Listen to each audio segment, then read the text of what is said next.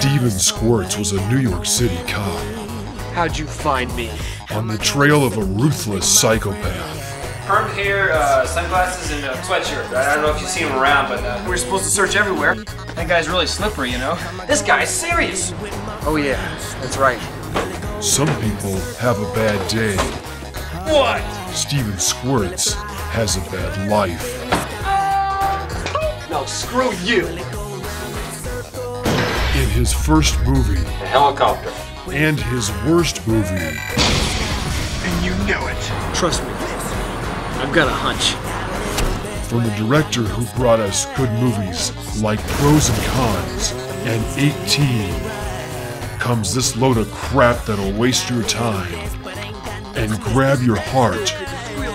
We got this place secured tighter than Alcatraz. So say your prayers. No, pal. Say your prayers.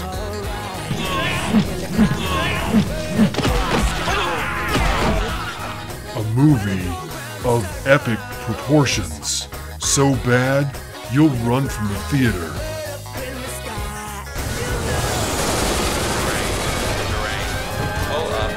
Thrown in the trash, rescued from the dumpster, and digitally remastered for your enjoyment.